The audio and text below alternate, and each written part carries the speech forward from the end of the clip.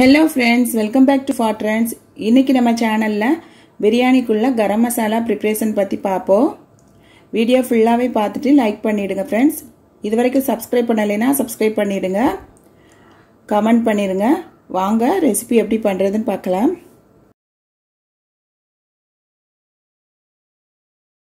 இன்னைக்கு நம்ம சேனலில் பிரியாணிக்குள்ளே கரம் மசாலா அதாவது இருபத்தஞ்சி கிலோ பிரியாணி வரைக்கும் இதில் பண்ணலாம். இதுக்கு எவ்வளோ அளவு வேணுங்கிறத நான் இதில் டீட்டெயிலாக சொல்லியிருக்கேன். டிஸ்கிரிப்ஷன் பாக்ஸ்லேயும் கொடுக்குறேன் ஃப்ரெண்ட்ஸ் ஒரு ஐம்பது கிராம் ஐம்பது வேண்டாம் ஒரு டுவெண்ட்டி ஃபைவ்லேருந்து தேர்ட்டி கிராம் ஏலக்காய் எடுக்கணும். அப்புறமா ஒரு ஒரு ஃபோர்ட்டி ஃபைவ்லேருந்து ஃபிஃப்டி கிராம் சினமோன் எடுத்துக்கலாம். க்ளோவ்ஸ் கொஞ்சம் எடுத்துக்கலாம் ரெண்டு டேபிள் ஸ்பூன் அப்புறம் வந்து ஜாதிக்காய் வந்துட்டு ஒரு ஜாதிக்காயில் ரெண்டில் ரெண்டில் ஒரு பங்கு எடுத்துக்கலாம். இது எல்லாத்தையும் போட்டு ஒரு கனமான கனமான ஒரு இரும்பு சட்டியில் வறுத்து எடுத்துக்கிட்டேன். ரொம்ப ஃப்ரை பண்ணணும்னு வேண்டாம். சாஸ்பேன் வந்துட்டு நல்லா ஹீட் ஆனால் போதும். இது எல்லாத்தையும் போட்டு ஃப்ரை பண்ணி எடுத்துக்கலாம். நான் ஒரு ரெண்டு நிமிஷம் தான் ஃப்ரை பண்ணேன். ஸ்டவ் சுவிட்ச் ஆஃப் பண்ணிட்டு அப்புறமா ஒரு ஒன் மினிட் நல்லா மிக்ஸ் பண்ணி விட்டுக்கலாம். இதை ஆற வச்சுட்டு ஒரு மிக்சி ஜாரில் நல்லா திரித்து எடுத்துடலாம். இதை வந்து நம்ம ஸ்டோர் பண்ணி வச்சுட்டு ஒரு கிளாஸ் கண்டெய்னரில் ஸ்டோர் பண்ணி வச்சுட்டு கொஞ்சம் கொஞ்சம் மாட்டி யூஸ் பண்ணலாம். நமக்கு ஒரு இருபது கிலோ பிரியாணி பண்ணணும். மட்டன் பிரியாணி சிக்கன் பிரியாணி இதெல்லாம் பண்ணணும்னா இதை எப்படி நம்ம வீட்டிலையே மேக் பண்ணலாம். வீட்டில் மேக் பண்ணிவிட்டு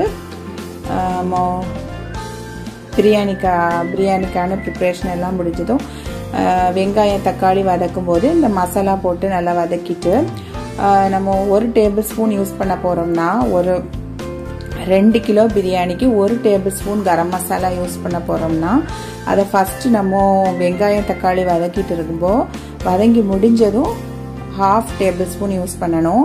அப்புறம் நம்ம மட்டன் மட்டனாக இருந்தால் மட்டன் இல்லைனா சிக்கன் எல்லாம் நம்ம குக் பண்ணி முடித்ததும் ஒரு பாதி கரம் மசாலா தூவி விட்டுட்டு ஒரு ரெண்டு நிமிஷம் குழம்பு கொதிக்க விட்டுட்டா அந்த டேஸ்ட் ரொம்ப செமையாக இருக்கும் ஃப்ரெண்ட்ஸ்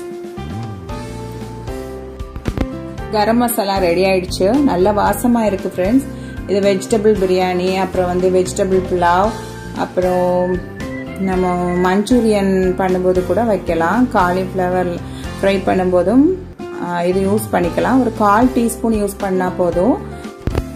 அப்புறமாட்டு பொட்டேட்டோ கிரேவிலாம் பண்ணும்போது கூட நம்ம கொஞ்சமாக யூஸ் பண்ணிக்கலாம். இது ரெண்டு மாதம் வரைக்கும் ரெண்டுலேருந்து மூணு மாதம் வரைக்கும் கெடாமல் அப்படியே இருக்கும். ஒரு கிளாஸ் கண்டெய்னரில் ஸ்டோர் பண்ணி வச்சுக்கணும். இப்படி திரிச்சு எடுத்தால் போதும். ரொம்ப திரிக்கணும்னு வேண்டாம். அந்த ஏலக்காயில் உள்ள ஸ்கின் வந்துட்டு நம்ம உடம்புக்கு நல்லது கிடையாது. அந்த விதைகள் மட்டும் சேர்த்தாலே போதும்.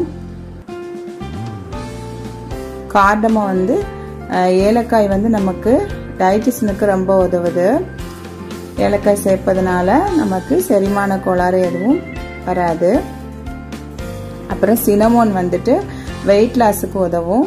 இதில் நம்ம சேர்க்குற இந்த கரம் மசாலா சேர்க்குற எல்லாத்துலேயுமே நல்ல பெனிஃபிட்ஸ் இருக்குது ஃப்ரெண்ட்ஸ் அப்புறம் இந்த ஜாதிக்காய் வந்துட்டு பொடிச்சு வச்சுட்டு ஒரு கிளாஸ் கண்டெய்னரில் ஸ்டோர் பண்ணி வச்சுக்கணும். ஒரு நாலு பீஸ் மிக்சியில் போட்டு கிரைண்ட் பண்ணி வச்சா போதும் லைட்டாக தட்டிட்டு தூங்குறதுக்கு முன்னாடி கொஞ்சமாக ஒரு கப் பசும்பாலில் ஒரு சிட்டிகை மிக்ஸ் பண்ணி குடிச்சு வந்துட்டா நமக்கு நல்ல தூக்கம் வரும் ஃப்ரெண்ட்ஸ் இது வயிற்று புண்ணெலாம் குணமாக்கக்கூடிய தன்மை கொண்டது.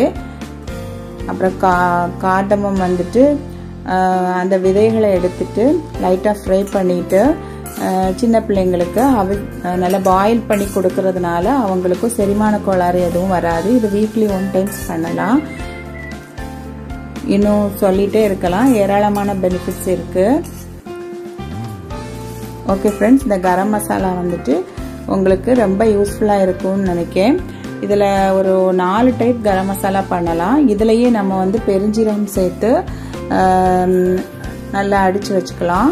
அப்புறமா கிராம்பு பற்றி நம்ம சொல்லவே வேண்டாம். இப்போ உள்ள காலகட்டத்தில் நம்ம கிராம்பு வந்து சமையலுக்கும் சரி தினமும் ரெண்டு கிராம்பு வெண்டு சாப்பிட்றதுனால அது நோய் எதிர்ப்பு சக்தியை நமக்கு உருவாக்கும்.